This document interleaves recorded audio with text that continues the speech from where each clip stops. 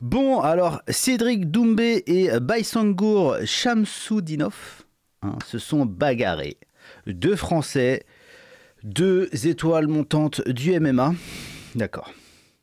Ça fait des mois qu'on nous saoule, enfin plutôt des semaines qu'on nous saoule avec ce combat, ça pop de partout, etc. Donc je vais pas parler du combat.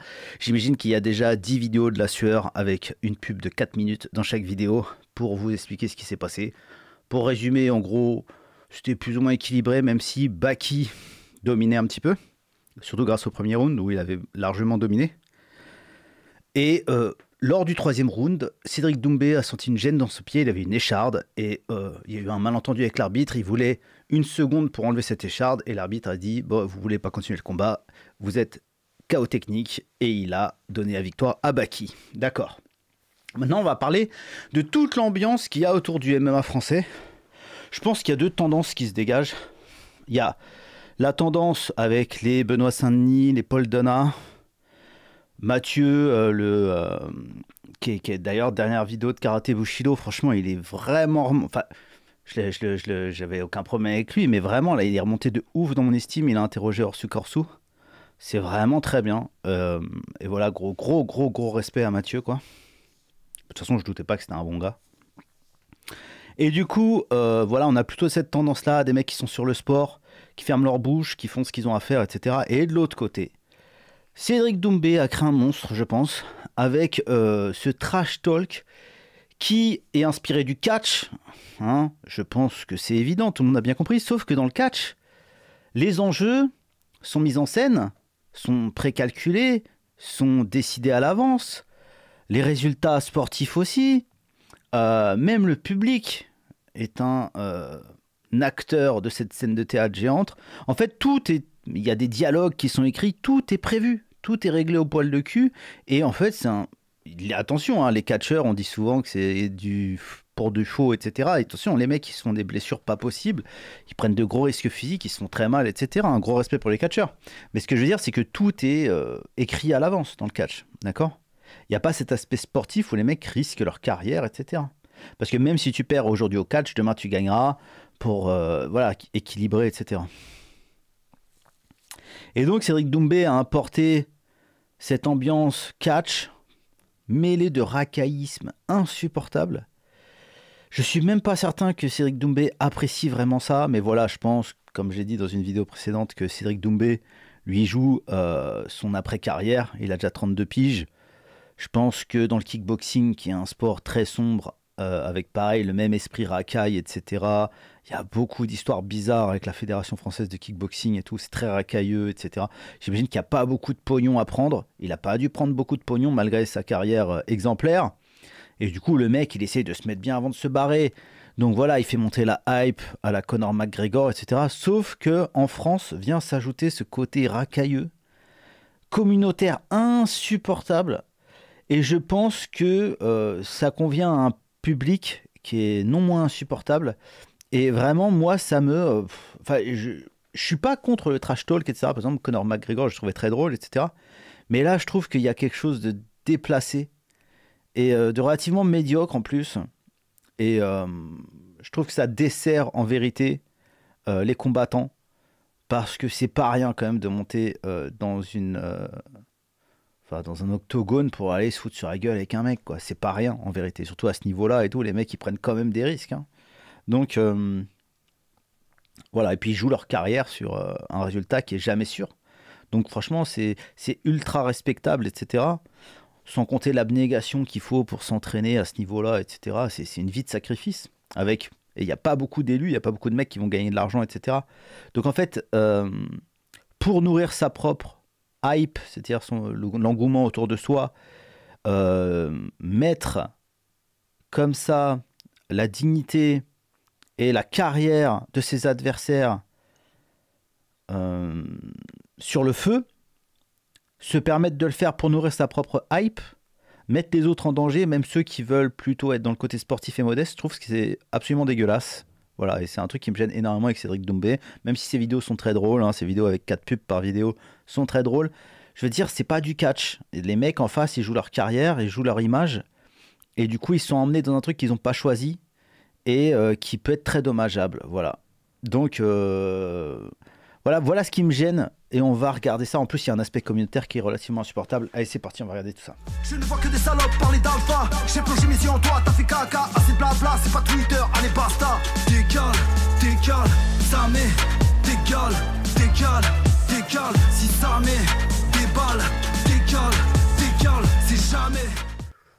Alors, pour résumer, euh, Cédric Doumbé a euh, perdu le combat. Donc, du coup, il s'est fait, s'est fait arrêter euh, lors du troisième round.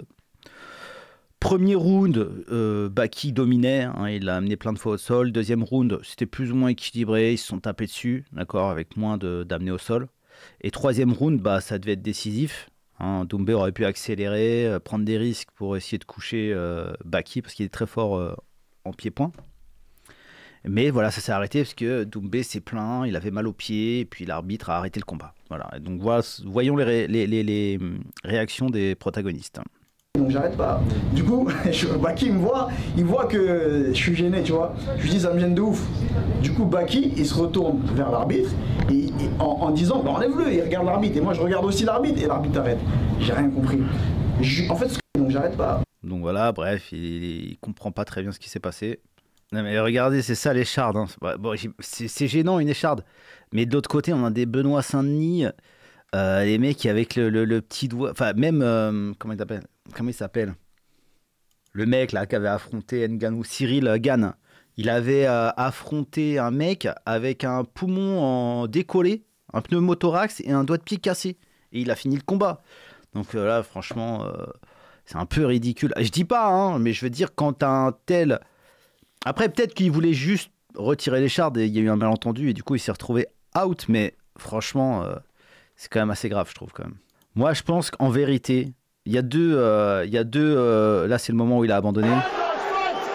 Voilà, donc Baki dit mais il arrête pas, il, il veut pas combattre, etc. Et donc l'arbitre l'a arrêté. Parce qu'il était déjà plein, Cédric Doumbé, il monte son pied, encore une fois, bref. Alors il y a deux, euh, comment dire, théories complotistes qui s'affrontent. Un, soit Doumbé voyait qu'il était euh, mal parti et qu'il allait sûrement perdre, donc il a trouvé un moyen d'arrêter le combat d'une façon honorable, avec une bonne excuse. Ouais, non, bon, j'étais blessé, j'avais un truc, etc. Soit plus euh, vicieux, Cédric Doumbé a parié tout l'argent qu'il a gagné avec ses précédents combats sur Baki. Hmm. Et du coup, il a fait un petit chaos technique honorable. Ah, j'ai une écharpe dans le pied, etc. C'est insupportable. Ça se trouve, il l'avait depuis le début du combat. hein. Et, euh, et voilà, on ne sait pas. On ne sait pas. Ce sera un bon move en tout cas pour mettre la famille à l'abri. hein. Euh, franchement, moi, moi, j'hésiterai pas. Moi, j'hésiterai pas une seconde. En fin de carrière, all-in sur l'adversaire. Oh, oh, je suis tombé KO. Ah non, je rigole, bien sûr. Avec une mentalité comme ça, tu n'arrives jamais à devenir champion. Donc, de toute façon, ça aurait jamais été. J'aurais jamais été champion, moi. Ok. Donc, du coup, Doumbé a dit euh, Moi, euh, je considère que le combat n'a pas eu lieu. Alors, c'est très bizarre parce que le combat a eu lieu et il était même plutôt en train de perdre. Et euh, il dit Je veux faire la revanche, etc. Et du coup, euh, Baki répond à ça. Je suis prêt à faire une revanche, mais bien sûr, il faudra aligner les billets. Je sais que le PFL, vous avez les moyens. Non, non, non, mais c'est bon, j'ai pas hyper envie finalement. Ah bah il a plus envie maintenant. Donc en gros, euh, Baki dit moi je veux bien faire la revanche, mais avec plus de neutralité, parce qu'on va voir il y a eu des trucs très gênants et euh, avec une meilleure rémunération, parce qu'après il a été mal payé. Parce que oui, euh, Booba relève quand même que la présentatrice a quand même crié Baki et a fait crier à la foule Baki t'es mort, c'est-à-dire en gros le petit jeune. Alors que normalement il y a une espèce de devoir de neutralité quand t'es présentateur, arbitre, etc.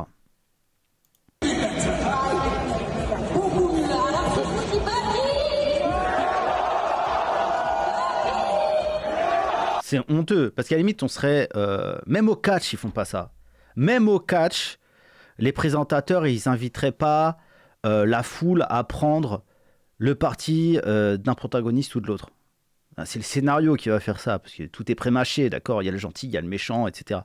Mais euh, là, c'est- inconcevable. Je veux dire, les mecs, ils, ils- ils risquent des blessures, ils risquent des euh, séquelles. hein, tu- Il y a des chaos dont tu te remets jamais. Ils risquent leur carrière, c'est-à-dire ce pourquoi ils s'entraînent depuis des années. Et elle, elle arrive, elle fait ça. Mais c'est insupportable. En sachant que de toute façon, Cédric Doumbé va arriver après euh, avec le même cinéma, etc. Bon, Cédric Doumbé, c'est son jeu, il fait ce qu'il a à faire. Mais que la présentatrice se permette de faire ça, c'est insupportable. Ça montre un amateurisme absolument euh, catastrophique. Il veut pas le refaire, il veut le faire. Il y a Bassem qui a donné son avis sur le truc aussi.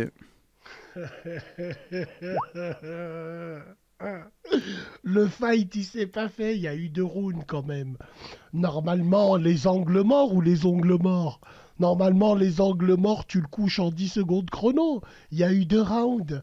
Il y a eu deux rounds et demi. Je Ah, le combat, c'est pas fait. Ça y est, c'est la blague du FC Twitter, t'as. Ils vont te dire le combat, c'est jamais fait. Le combat, c'est jamais fait. Allez, c'est parti pour l'espace, c'est parti pour mes couilles. D'accord, les ongles morts. Moi, je parle, c'est les ongles morts, d'accord. Est-ce que t'es d'accord, je sais pas. Est-ce que t'es d'accord?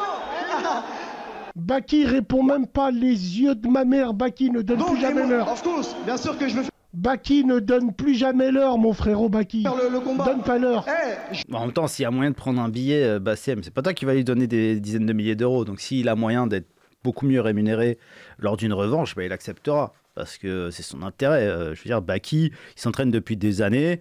Euh, il doit euh, pas gagner beaucoup de sous parce que tant que tu t'entraînes, tu gagnes rien du tout. C'est à tes frais, etc. Ça coûte cher en vérité. Parce que tu peux pas avoir d'activité professionnelle. C'est enfin, compliqué à côté. Donc voilà, quand tu décides de devenir pro, bah, tu t'y mets à fond et bah, chaque billet euh, après que tu peux gagner, surtout au début, j'imagine que euh, tu prends tout ce qu'il y a à prendre. Parce qu'en plus, tu sais que ça peut s'arrêter sur une blessure, ça peut s'arrêter. Donc tu essaies de rentabiliser tout ce temps perdu. Donc euh, dire, il accepte s'il a envie d'accepter. Bon, maintenant, on a fait le tour du côté sportif, etc. Bon, c'était relativement décevant quand même, mine de rien. Je trouve que les deux, ils ont pas pris beaucoup de risques. parce que les deux, ils avaient peur de... En fait, il y a tellement de pression. Doumbé, met tellement de pression qu'il peut pas se permettre de perdre. Et puis Baki, en face, c'est pareil. Je veux dire, euh, ta carrière, elle est finie. Après, tu te fais... euh, tu te fais défoncer, tu te fais moquer, euh, comme Jordan Zebo a pu être moqué, etc. Donc en fait, il y a trop de pression. Cédric Doumbé vient mettre trop de pression, une, tension artificielle qui le sert économiquement, mais qui en vérité dessert l'humanité de ces deux personnes. Parce que tu te mets tellement en danger, et à la limite, à la limite, Cédric Doumbé, c'est volontaire. Lui, il fait ce qu'il veut avec sa carrière, mais euh, je veux dire, euh, prendre en otage celle de Baki, je trouve que c'est pas fair play. Voilà, c'est tout. C'est pour ça que ça me gêne beaucoup ces genres de trash talk, trash talk c'est pour ça que j'ai parié sur Baki et que j'ai gagné. Et que du coup, si Benoît Saint-Denis gagne aussi, j'ai fait euh, un pari combiné, je vais gagner un paquet d'oseilles. Donc j'espère que Benoît Saint-Denis, tu vas gagner mon Benoît, Hein, ça ferait bien plaisir. Alors, et du coup, il y a un aspect quand même co- communautaire qui est non négligeable. Euh, bien parler, Cédric Doumbé, c'est que du sport, il n'y a pas de haine entre eux. Comme il l'a dit, il y a plus important chez les musulmans. D'accord? Parce qu'il a fait un truc qu'il n'a pas fait avec Jordan Zebo. Il n'a pas fait ça avec Jordan Zebo qui est martiniquais. Et il fait ça avec lui, c'est-à-dire en gros, bah, de toute façon, on est ensemble parce qu'il y a quelque chose qui nous unit. On va écouter ce qui les unit.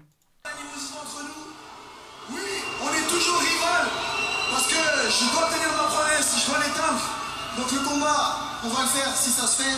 Mais juste, on voulait, on voulait vous dire un truc. Tous les deux, c'est. Tout ça, c'est n'importe quoi. Vous savez, la chose la plus importante en ce moment, elle arrive dans quelques jours. Et Inch'Allah, ça va bien se passer. Donc grosse force à tous les musulmans. Donc là, il parle du ramadan. Il dit, euh, de toute façon, tout ça, c'est du vent. Est-ce qu'il compte vraiment?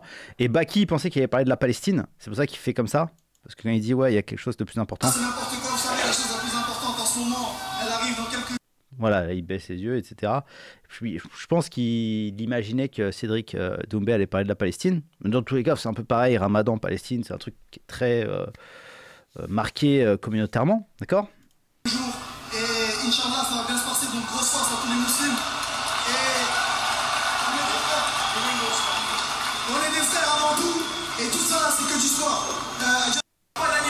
On est des frères avant tout, etc., frères en islam, etc. Donc il y a un aspect quand même extrêmement communautaire. Et je pense que, en fait, tout ce trash talk, tout ce spectacle, tout ce, cet esprit un peu racaille, parce que oui, euh, ce trash talk, comme je le dis encore une fois, il est inspiré du catch, mais dans le catch, tout est euh, scénarisé. Là, pas du tout. Il y a des risques qui euh, sont imposés à l'adversaire. Parce qu'à la limite, si euh, Baki était dans le même game, lui aussi faisait du trash talk et du spectacle, etc., il n'y a pas de problème. Mais je veux dire, Baki, dès le début, il a dit non, ça m'intéresse pas. Et Jordan Zebo aussi. Jordan Zebo, il l'a pas pris par l'épaule à la fin. Pour dire, ouais, les gars, Jordan Zebo. Au contraire, il a continué de dire que. euh, euh, fallait lui enlever de la force, etc., parce qu'il n'était pas assez reconnaissant, etc. A priori, il n'a pas fait la même chose avec Baki. Alors pourquoi? Qu'est-ce qui les unit? Bah, Ils viennent de le dire là. D'accord? Je trouve ça relativement dégueulasse en vérité. Et pour finir, on va regarder ce tweet hein, de la part de euh, Zian. Euh, il habite à Agadir. Ok, très bien. Et il nous dit l'épine, c'est-à-dire l'épine que euh, Cédric Doumbé a eu dans le pied, qui arrête la bagarre entre Doumbé et Baki parce qu'il veut pas, elle, l'épine j'imagine, euh, ne veut pas voir deux musulmans se battre pour divertir les koufars et se préparer pour le ramadan. Parce que, parce que oui, en fait, euh, a priori, c'est les koufars, c'est-à-dire les mécréants, qui obligent les gentils musulmans à se battre contre les préceptes de leur religion, parce que les musulmans n'ont pas le droit de se battre. A priori, il y avait Khabib qui avait dit ça. Ils n'ont pas le droit de se mettre des coups de poing dans la figure, etc. C'est- péché. Mais voilà, c'est les koufars qui forcent les gentils musulmans. Et l'épine envoyée par Dieu euh, rétablit euh, l'équilibre et oblige ces musulmans à arrêter de se corrompre en acceptant euh, de se soumettre à ces méchants koufars. Et ils préfèrent se reconcentrer sur le ramadan, voilà, etc. Il y a 34 000 likes sur ce tweet. 34 000 likes. Vous vous rendez compte?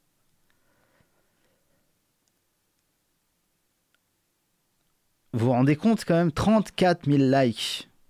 Et c'est les mêmes, c'est les mêmes gens, c'est les mêmes personnes qui nous cassent la tête depuis des semaines avec ce trash talk dégueulasse, vulgaire et euh, injuste. D'accord? C'est les mêmes qui kiffent ça, qui font des paris sur Unibet, sur euh, Winamax, etc. Moi, j'ai parié. Je déconseille absolument aux gens de se mettre au jeu d'argent parce que de toute façon, c'est fait pour que vous perdiez au final. D'accord? C'est tous les jeux d'argent, c'est toujours pareil. Il y a qu'un seul gagnant, c'est la banque. Moi, j'ai été croupier poker, donc je peux vous le dire. Le seul gagnant au final sera toujours la banque. Ce sera toujours la Française des Jeux, ce sera toujours le site de Paris. Vous pouvez pas gagner. Voilà, vous pouvez pas gagner à part quelques exceptions. Vous pouvez pas gagner. Moi, j'ai parié parce que euh, j'avais envie de parier sur la modestie, voilà, pour euh, me donner le plaisir de gagner de l'argent une fois. Hein, j'ai juste mis la somme et j'ai parié cette somme. C'est tout, je mettrai jamais plus d'argent sur ce site euh, pour parier sur la modestie, c'est-à-dire Baki, à qui je reconnais une certaine modestie, et Benoît Saint-Denis. Voilà. Et je vais gagner un paquet d'oseille si Benoît gagne.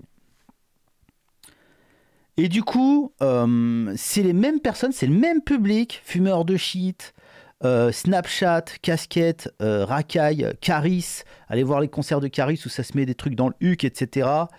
Euh, parce qu'on n'en a pas parlé, mais Caris, dernier concert, il a fait venir des danseuses à moitié à Walp, il y en avait une qui avait un, un, truc dans le huc qui faisait des couleurs.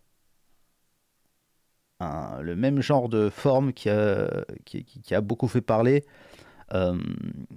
Place Vendôme, ils en avaient fait un gros verre, vous vous souvenez, un sapin de Noël. Voilà, elle avait ça dans le huc qui faisait des couleurs, etc. Voilà, c'est le même genre de public qui kiffe le rap, qui vend de la drogue, euh, qui consomme de la drogue, qui euh, joue au jeu d'argent, qui se complaît dans ce trash talk absolument injuste et dégueulasse, inhumain, immature et méchant, et qui vient faire de leçons de, de, de, de, de, euh, comment dire, spiritualité, en fin de compte. euh, euh, c'est Dieu qui a envoyé cette épine pour nous rappeler à l'ordre avant le ramadan. Mais quelle bande d'hypocrites Quelle bande d'hypocrites Mais c'est vraiment, mais vraiment, je je, je, crois pas qu'il y ait plus hypocrite que, que les éléments de cette communauté qui s'adonnent à ce genre de truc. Je dis pas que tous les musulmans sont hypocrites, loin de là. Mais eux, vraiment, c'est insupportable, quoi. Cette génération est foutue, vraiment. Moi, j'ai vraiment j'ai de la peine pour les mecs comme Bassem, même si Bassem, attention, hein, il est critiquable, il a ses défauts, etc. Mais qui voient ça, j'imagine que les mecs savent se dire, mais c'est pas possible, quoi. Attention, on a les mêmes chez nous, hein. Hein, c'est pareil, les, gamins sont tous foutus, quoi. Alors, je sais pas si c'est les réseaux sociaux, je sais pas si c'est le rap, un mélange de tout ça, la Macronie, euh, tout ça, tout ça, tout- tout- toute cette ambiance. Franchement, c'est catastrophique. Voilà. C'est tout ce que j'avais à dire. Je trouve ça catastrophique. Venir merde. En fait, là, c'est comme si les mecs ils essayaient de repeindre euh, de la merde avec du vernis coloré, quoi. Tu vois, euh, des, des paillettes d'or sur de la merde, quoi. Ah non, mais c'est Dieu, en fait, il nous ramène dans le droit chemin. Mais ta gueule, en fait, espèce de débile, quoi. Franchement, c'est insupportable. C'est insupportable. D'accord? C'est insupportable. Bref, écoutez, je sais pas si cette vidéo va trouver. euh, Je ne supporte plus en fait cette France. Voilà, cette France-là, je la supporte plus. Heureusement qu'il reste des Mathieu, des Benoît et des Paul. Franchement, hein, c'est pas pour rien qu'ils n'ont pas des, prénoms de style Kylian, euh, Kevin ou attention, euh, pa- pardon, les Kevin, les Kenji, les, les Kylian, etc. J'ai rien contre vous, mais vous voyez quoi. C'est pas pour rien qu'ils ont des prénoms classiques. hein. Ça définit tellement de choses, malheureusement. Après, je sais qu'il y a des euh, Mathieu, c'est des, c'est des bons à rien, et des Kevin qui sont des gens très bien. J'en ai plein dans le public, des Kevin. À chaque fois, vous chouinez les Kevin. Mais c'est un prénom breton, etc. Oui, oui, oui, c'est bon, c'est bon. Arrêtez de chouiner. Bon, mettez un pouce, un like, abonnez-vous. À plus tard, les petits copains, les petits malins. Puis force aux combattants qui savent rester humbles et qui qui n'entraînent pas les autres, malgré eux, dans leur euh, stratégie de communication euh, très injuste, selon moi. À plus tard, tout le monde. Ciao.